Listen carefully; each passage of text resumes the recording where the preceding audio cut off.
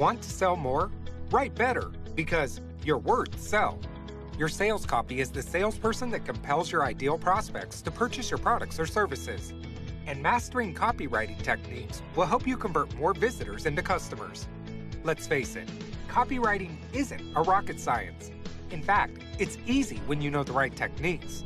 You can write a sales copy in 60 minutes with my proven method.